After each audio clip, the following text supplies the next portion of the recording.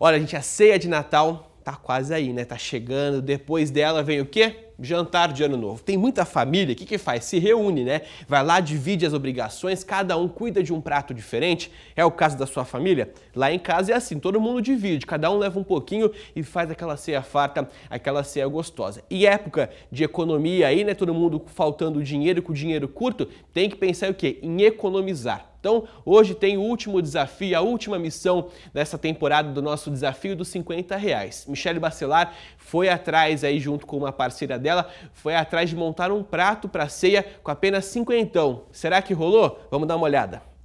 E aí, pessoal, tudo bem?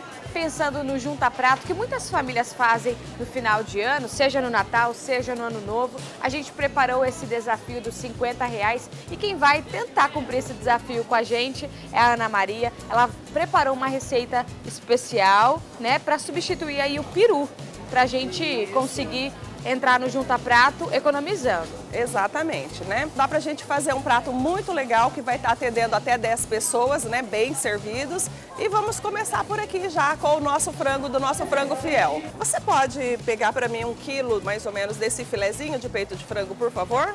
R$ 8,99. E a dica da Ana Maria é comprar ele assim, filezinho já. Filezinho para já ficar mais prático também, né?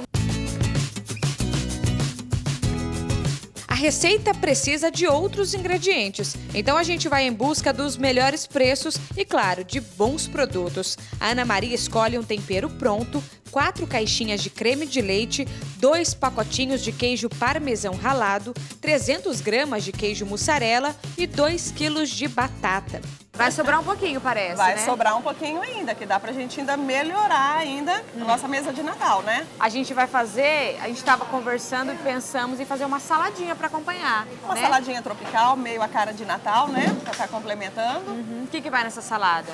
Ó, nós podemos estar colocando um repolho, cenoura, é, uvas passas. Tem a maçã e o creme de leite também que a gente vai colocar. Também, que a gente vai adicionar. Perfeito. E vai dar para ficar tudo dentro do nosso orçamento. Estamos no caixa, chegou a hora então da prova real, né, Ana? É, agora Será que o vai? desafio tem que ser cumprido, né? Agora tem que ser cumprido. Vamos passar?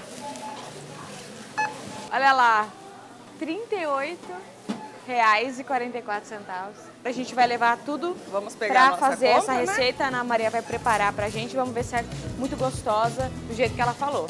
Primeiro ela tempera os filezinhos, depois frita eles com óleo ou azeite e enquanto isso ela deixa as batatas cozinhando na panela de pressão. E agora ela vai explicar como finaliza esse prato. Com a nossa batata já cozida, nós vamos colocar cortada no liquidificador e acrescentando o nosso creme de leite, o nosso tempero e o nosso queijo parmesão ralado para formar o nosso creme, né?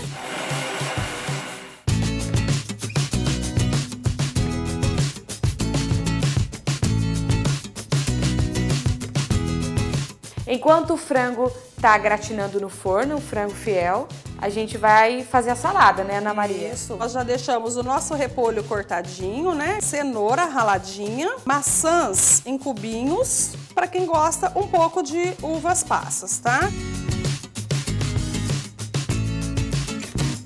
Tudo pronto, chegou a hora de saber se a economia valeu a pena.